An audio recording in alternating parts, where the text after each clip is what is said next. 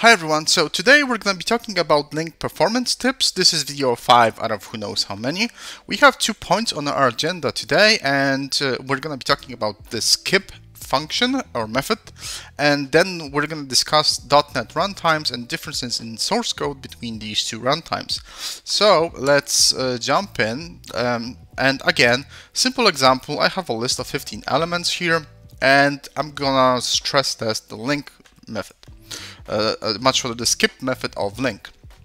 So what I have here is I have the skip and we're gonna skip um, you know x number of times. This time around it's 9 and we're just gonna do first or default and that's going to be it.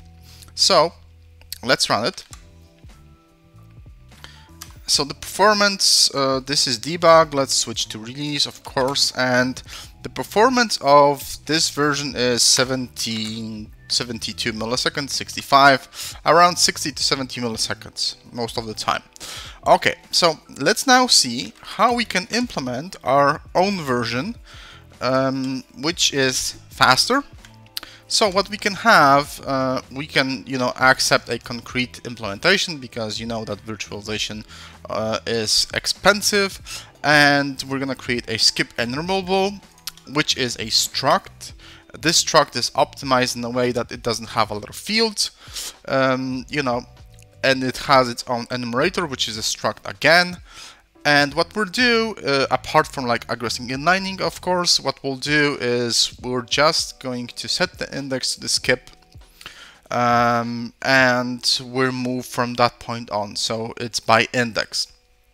And uh, let's measure the performance of uh, you know this guy and the performance will be around 20 ish milliseconds to to run it so um, let's you know let's now see how the skip is implemented in LINQ because um, it seems that it does not do a index based traversal what it does is it it will you know it's just probably doing, uh, you know, move next a bunch of times. But let's verify.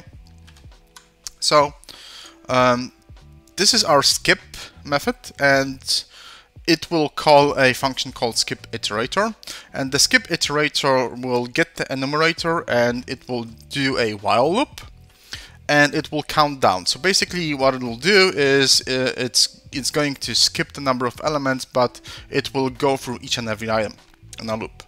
And once that's done, it will do a, you know, a small check if the count is, you know, greater than zero, uh, and if it is, then we're just going to do move next and yield return. And yield return, it's a state machine that, you know, preserves the state and, you know, it will generate some code that will, um, you know, work correctly in a way. It will preserve state and return elements in a lazy way. Okay, so um, our implementation is obviously faster because we're using index traversal, but let's actually change the runtime because um, what we're doing here is we're not actually uh, working, uh, running this code on .NET Core, we're running this code on .NET Framework Old, and let's switch implementations and see uh, if something changes to the performance of LINQ. So let's use this version here. And let's switch here and uh, everything is exactly the same let's run the LINQ method again so it takes now roughly 20-ish to 25 milliseconds. So that's pretty good because that's very, very fast. And in fact, it's in line with our own implementation. So now uh, you might, you know, ask yourself, is there um, a reason to implement your own version of, you know, skip because this version is really good. Well, it depends because it depends on a, a, couple of things. So, first of all, uh, you can force it to run a bit faster, but um, it's not easy to do. But let's, you know, let's see. First of all, let's see how uh, the skip is implemented. So this time around, it will do a bunch of checks uh, it will check if it's not a partition, but uh, you know, it's not. It's a list. So we're gonna go to skip iterator uh, method and we're gonna create something that's called a list partition. And the list partition is a highly optimized data structure where um, we're doing, you know, move next and we're doing the index traversal and also it's like optimized. These checks are really fast. Uh, they're specifically made to, to return ranges of values. So it's all good here. And, uh, you know, the performance actually tells us that it's well implemented. So um, let's try a couple of, you know, other things here. So let's, let's do like the list version. So the list version will just do um, it will take down IEnumerable, it will check if we're not a list, and if we're a list, we're just gonna yield with you on the list. So that should work, you know, not bad. That should be pretty okay in terms of performance. So let's just test if we're, is it true? No, it's not, because LINQ takes 20 milliseconds. Let's run it again. Nope. Um, so there's a problem. But uh, we can implement a better version of this probably without, you know, virtualization. So um, this is the version that is not virtualized. And it has a, well, it's not virtualized in argument, but it's still virtualized here. But uh, we need that in order to be able to call first or default. But there's a surprising change here. So the old version of this method just used a for loop and just, just you know yield return. But this version uses the same for loop, but the change is it's getting an enumerator still, and it's moving that enumerator, although the indexes are off. So we're not even using this enumerator for anything, we're just moving it. And, you know, why is that? Uh, well, the thing is, in this version, if someone would modify the collection while you're doing that, then there would be no exception and you could, you know, introduce bugs, for example.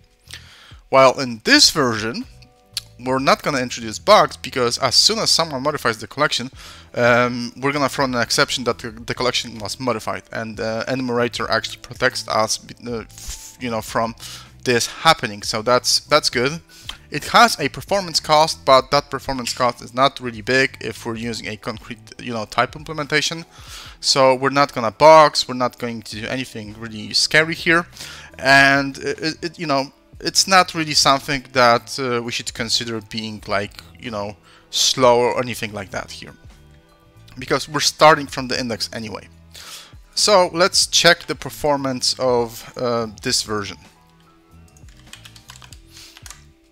So the last took 40 milliseconds. This time around, it takes around 40 milliseconds. So nothing was gained really.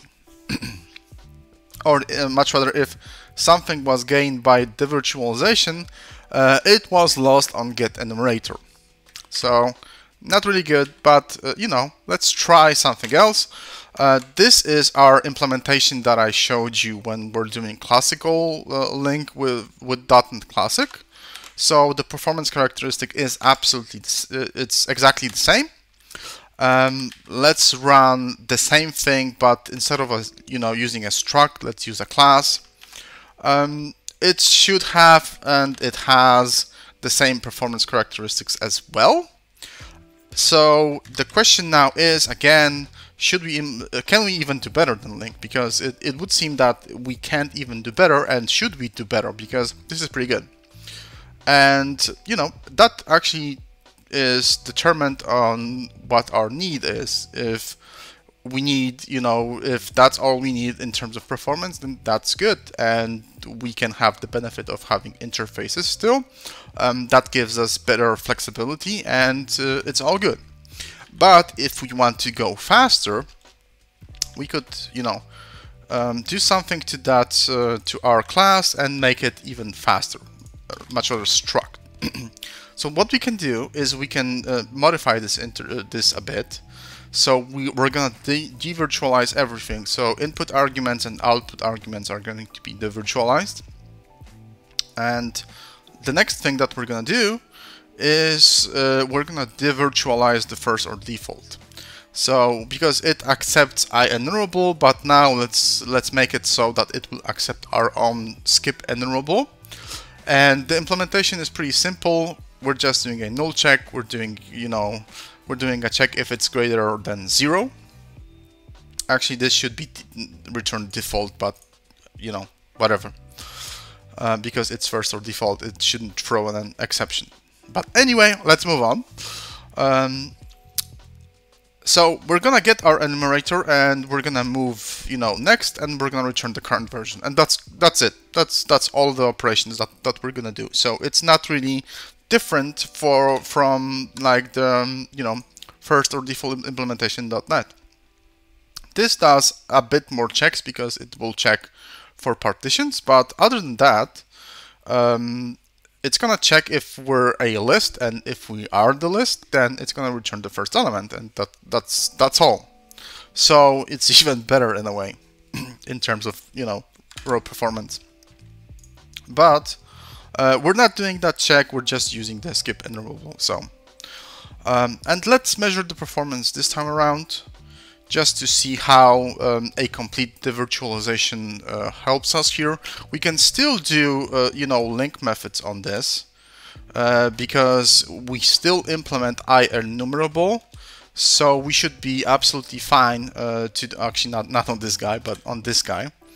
We still have access to all of the LINQ methods, so we can still chain do execution chains, but um, you know that's going to virtualize, and uh, it depends on what we want to do. So, okay, let's run this guy. 1 millisecond. 1.2, yeah, it's around 1.5-ish millisecond, I guess. That's really fast.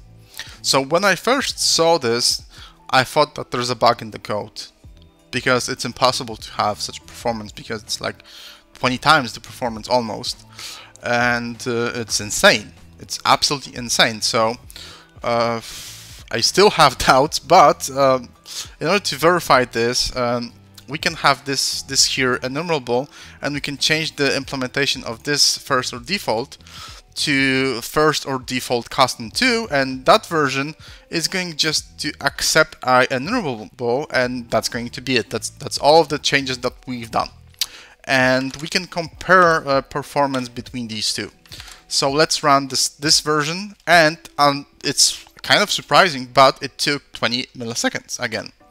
So it's in line with all of these free implementations. But if we're, we're going to remove that, then it takes like one millisecond. So um, but again, that depends on uh, if you want to go that fast, if you need to go that fast, because there this skipped version might be enough because it's really well implemented uh, under the hood, at least in .NET Core.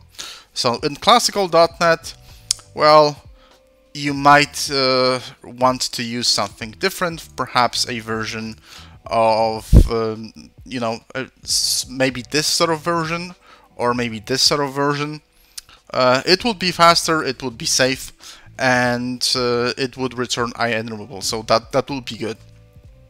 Okay, so let's do one last thing. Let's run uh, the benchmarks on, you know, Benchmark.NET because um, our tests are very simplistic and Benchmark.NET is going to give us better, uh, you know, results.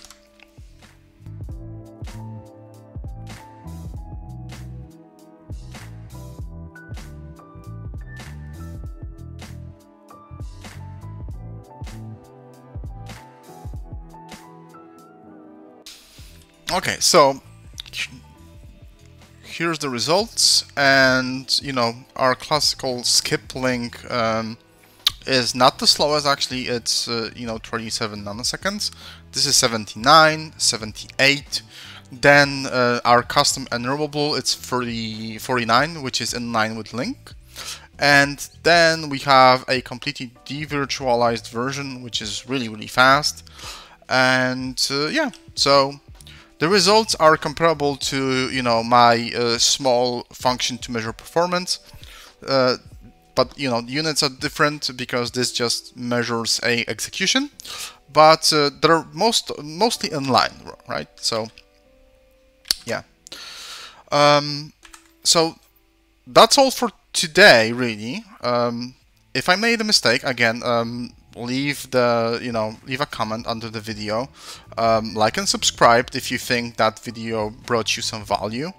And uh, yeah hope you hope to see you next time in a different video. So thank you again and you know bye